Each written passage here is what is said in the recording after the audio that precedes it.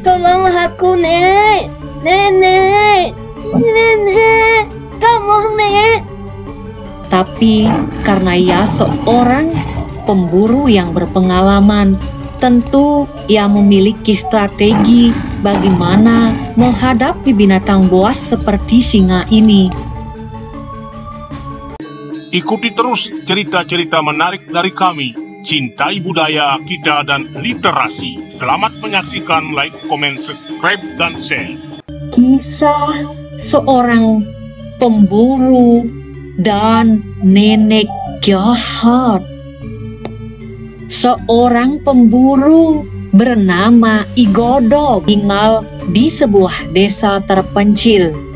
Ia tinggal bersama istri dan seorang anak perempuannya. Biasa sebelum ia berangkat berburu, ia ngobrol bersama istri dan anaknya. Bu, akhir-akhir ini rupanya binatang semakin langka, Bu. Karena banyak saingan kita sebagai pemburu. Nah, bagaimana hidup kita yang tidak memiliki lahan mengandalkan binatang buruan?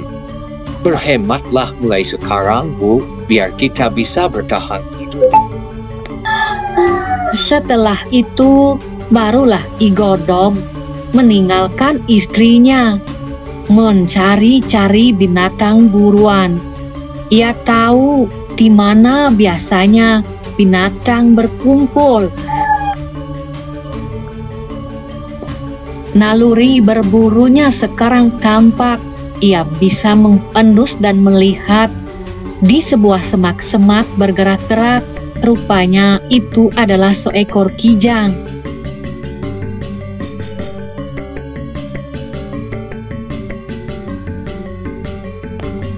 Sambil mencari-cari dan mengarahkan bidikannya karena terhalang oleh beberapa pohon, Ternyata Kijang itu pun tahu. Ia segera melompat ke tempat lainnya.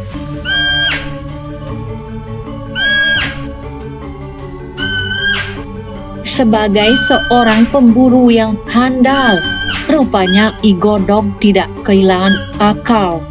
Ia masih bisa memantau dari jauh keberadaan Kijang itu sedang merumput. Tak disia-siakan, ia pun mementangkan panahnya. Anak panah Igodog pun melesat di angkasa yang menyebabkan Kijang itu tak bisa berputih. Akhirnya perut Kijang itu pun ditembus oleh anak panah Igodog.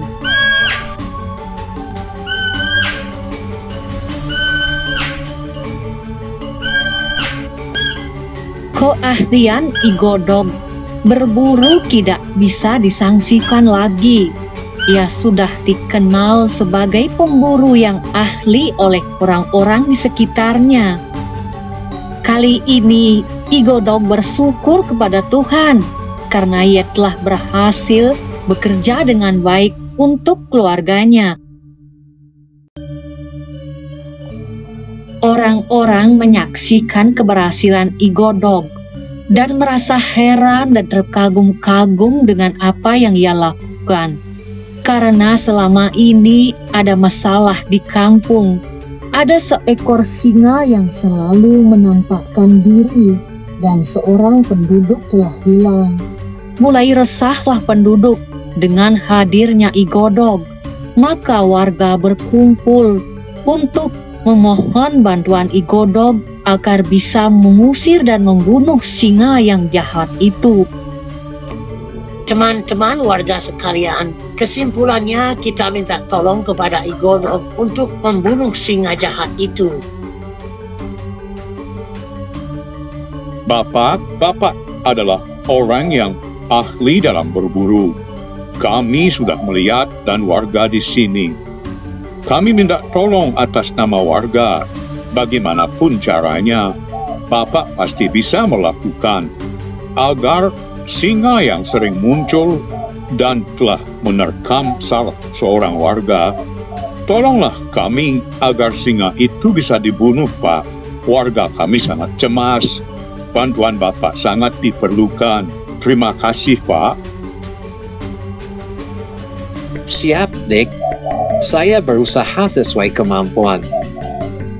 Mohon doa restunya juga.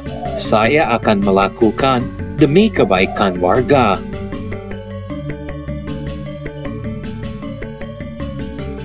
Igodog pun mulai melakukan pengintaian, di mana singa itu sering dikatakan muncul.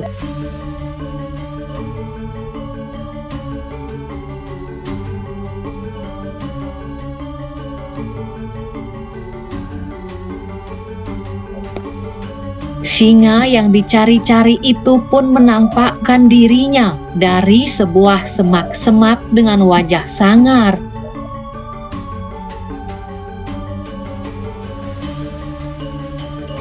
Sepintas kelihatan bahwa singa itu rupanya tidak mau diganggu.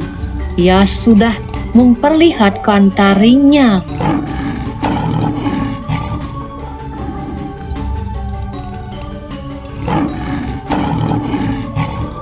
Sebenarnya hati Igodok juga takut, tetapi karena ia seorang pemburu yang berpengalaman, tentu ia memiliki strategi bagaimana menghadapi binatang buas seperti singa ini. Kembali ia menjauh dan membidik dari arah yang tepat. Kemudian anak panahnya pun mengenai sasaran. Singa yang galak itu pun tumang oleh panah Igodog. Berita tentang jasa-jasa Igodog kepada masyarakat akhirnya didengar oleh istana. Istana pun mengutus anak buahnya untuk menemui Igodog akan diajak ke istana menjadi penasehat raja dan menemani ketika raja berburu. Bu, untuk sementara aku akan pergi ke istana karena dipanggil raja. Kamu jagalah anak-anak di rumah. Nanti kalau urusan sudah selesai, saya pasti kembali dan menjemputmu. Ayah, jangan lama-lama ya ayah. Aku takut di rumah. Godog pun tiba di istana. Godog, aku telah mendengar keahlianmu.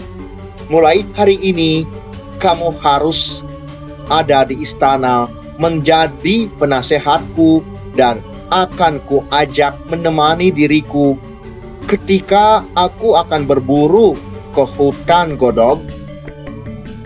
Tuanku Raja, sebenarnya kemampuan hamba tak seberapa, tapi kalau tuanku yang menginginkan, hamba siap tuanku. Sementara anaknya Godog sangat merindukan ayahnya karena sudah lama tidak pulang. Ia pun bertanya kepada ibunya sambil menyapu di halaman rumahnya. Dan ibunya pun menyarankan agar ia bersabar sebentar lagi ayah pasti datang. Bu, walaupun aku berbekal seadanya, aku sangat rindu kepada ayah.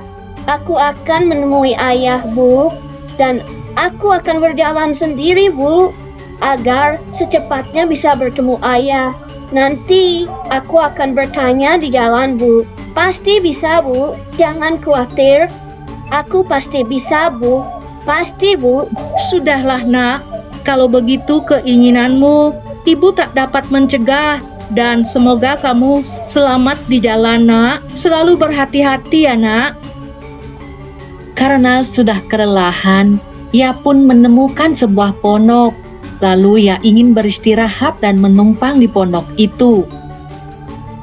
Aku harus hati-hati dengan bekalku yang pas-pasan ini. Permisi, permisi, permisi. Siapa? Siapa silahkan masuk nak. Silahkan masuk. Di sini tak ada siapa nak. Ponok itu milik nenek Runting yang dikenal sebagai nenek jahat. Nak, kamu bisa beristirahat di sini saja nak. Tidak ada siapa di sini. Ternyata nenek Runting yang kelihatannya sopan dan baik hati, ternyata ia adalah nenek yang sangat jahat. Ketika Lekutu tidur, maka ia mencari-cari bekal yang dibawa Lekutu untuk dicurinya. Sedangkan Lekutu adalah anak yang cerdas dan cerdik. Ia pun merasakan ada yang meraba-raba tubuhnya seperti mencari-cari sesuatu.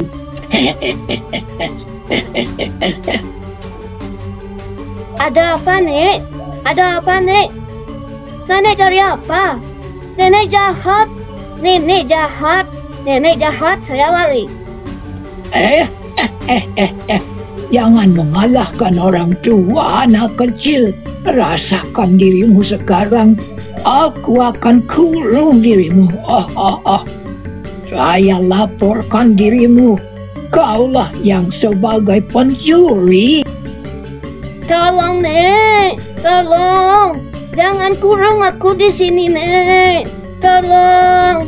Tolonglah aku, Nek. Nenek. Nenek. Tolong, Nek. Nenek memfitnah dan membalikkan keadaan. Ialah yang mengaku korban. Anak kecil itulah yang disebutkan pencuri kepada raja di istana. Kasihanilah hambamu Tuanku Raja. Aku sudah tidak mampu lagi. Paman, kasihan sekali nenek ini. Berikan bantuan segera. Tangkaplah perampok dan pencuri itu. Segera laksanakan, Paman.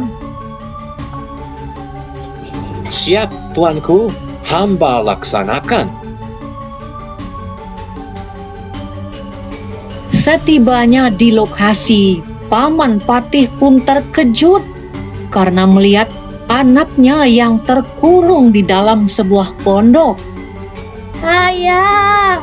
Ayah. Tolong aku, Ayah. Ayah, tolong. Nenek pun mulai ketakutan. Ayah, nenek gitu jahat, Ayah. Dia mau mencuri uangku, Ayah. Aku hanya membawa uang sedikit, Ayah. Dia jahat, Ayah. Setelah mendengar penjelasan dari anaknya Luh Putu, akhirnya Igodog sebagai patih membawa nenek renta itu ke istana dan diserahkan kepada raja.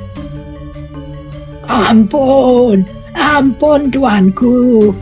Ampun, nenek salah tuanku.